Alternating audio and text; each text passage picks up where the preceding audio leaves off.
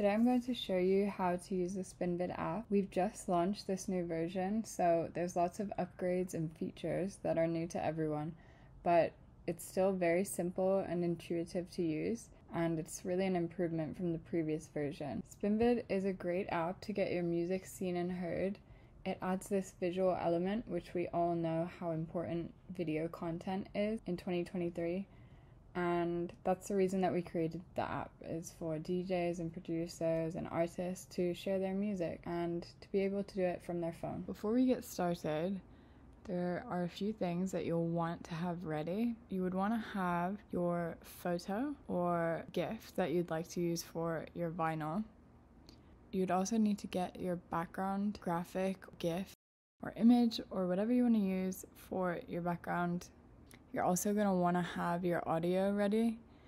You don't have to export with audio. You could do that in post production or in Instagram if that's where you're planning to upload your video. You could do that, but for the purpose of this tutorial, I'm going to say get your track ready. SpinVid will accept WAV and also MP3 files.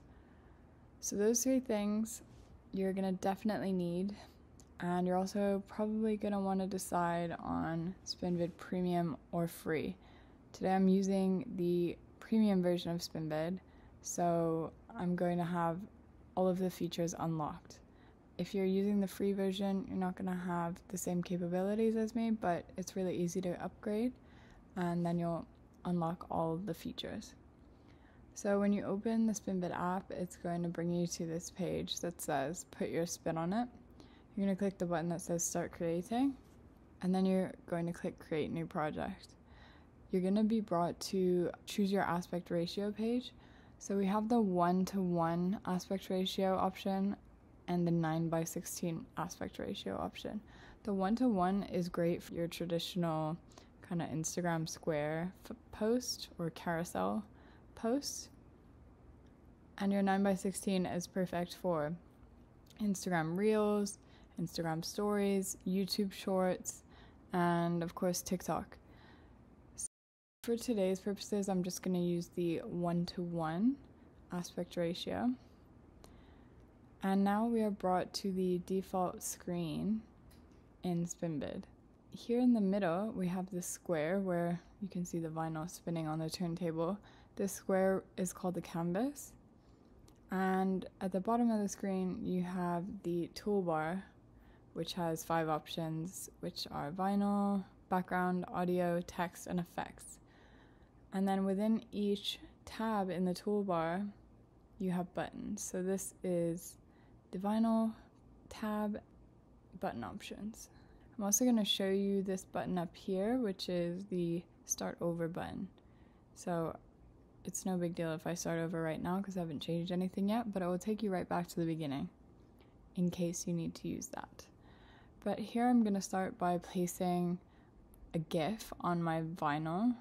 Um, you can choose an image as well, but I would like to go with a GIF today. I already think that looks pretty cool, but I'm going to show you what the other buttons do.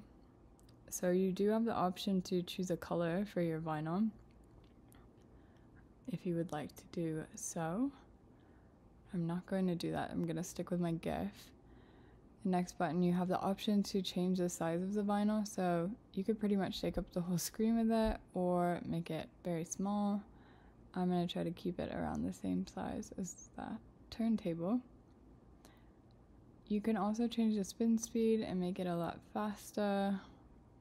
I prefer it to be a bit slower, but maybe you want to match it with uh, your BPM or just the energy of your track. It's totally up to you. Here we have a button that says center, and the reason we have that is because we've added the ability to drag your vinyl around on the canvas.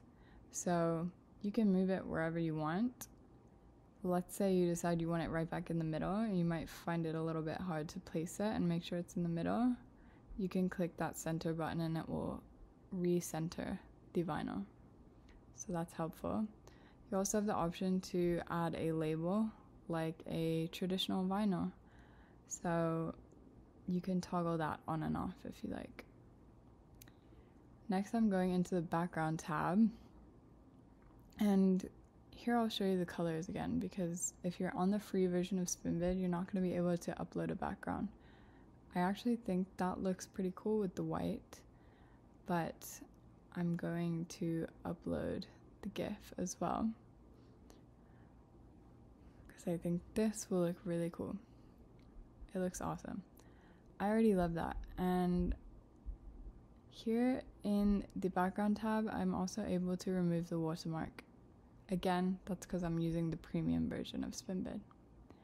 Next, I'm going to head into the audio tab. And remember when I said you're going to want that track on your phone? This is where that comes in handy. So I'm just going to type in MP3 so I can find my track.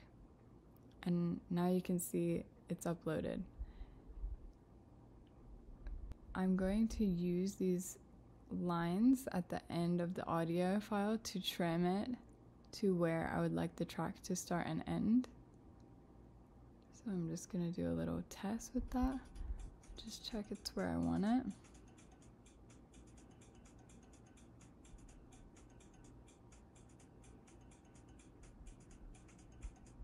Looks pretty cool to me.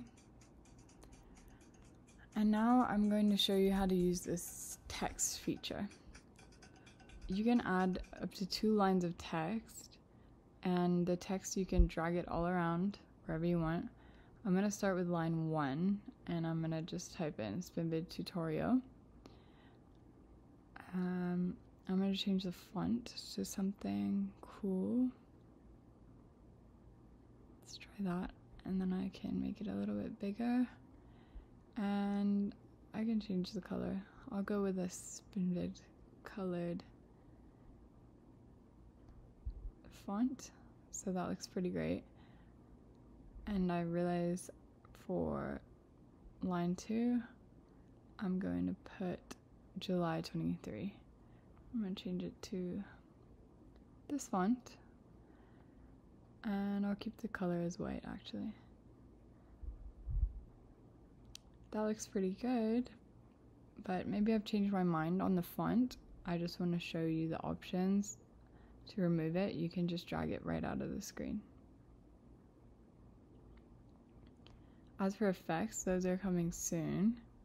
So at the moment, I feel pretty happy about my SpinVid. So now I'm ready to export it. So I can just click right up here and it should export very quickly. This is something we worked on to improve a lot. Now I can just save it to my device and there you have it. You can create a SpinVid really easily from your phone and you can share these awesome videos with your friends and with your fans on social media. If you have any questions, you can comment down below. I'm going to be releasing a lot more tutorials and I can address any topic that you like. So let me know what you want to see. I hope this was an easy tutorial for you to follow and that you're loving what the app can do. And I will be creating a lot more tutorials really soon. And don't forget to subscribe so that you can see them when I post. Thank you guys for watching